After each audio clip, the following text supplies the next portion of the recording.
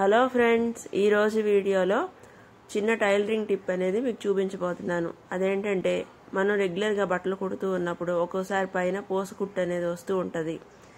ఇలాంటప్పుడు చిన్న చిన్న టిప్స్ యూజ్ చేసుకుని ఈ పోసుకుట్టు రాకుండా మనం చేసుకోవచ్చు. అది ఎలాగో ఇప్పుడు వీడియోలో చూసేద్దాం.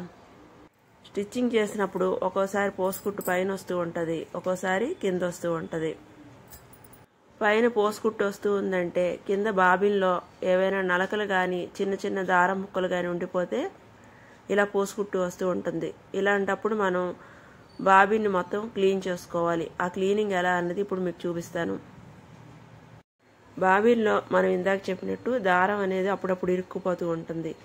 ఈ వీడియోలో మీరు చూసినట్టయితే ఇక్కడ బాబిన్కి స్క్రూ అనేది ఉంది కదా ఆ పక్క నుండి దారం అనేది బయటకు వస్తూ ఉంటుంది.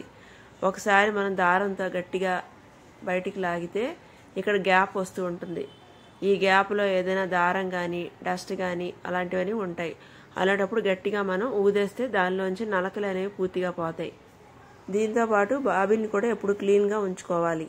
బాబిన్కి రెస్ట్ పట్టకుండా ఉండడానికి one or two drops oil వేస్తూ ఉండాలి. బాబిన్లోంచి దారం బయటకు వచ్చే ప్లేస్లో ఆయిల్ వేస్తూ ఉండాలి. ఇలా చేయడం వల్ల దారం కూడా సులువుగా బయటకు వస్తూ ఉంటుంది. సో ఫ్రెండ్స్ చూసారు కదా చిన్న చిన్న టిప్స్ యూజ్ చేసుకుని పైన పోసుకుట్టు రాకుండా ఎలా చేసుకోవచ్చో. ఫ్రెండ్స్ ఈ వీడియో మీకు నచ్చినట్టయితే లైక్ చేయండి షేర్ చేయండి.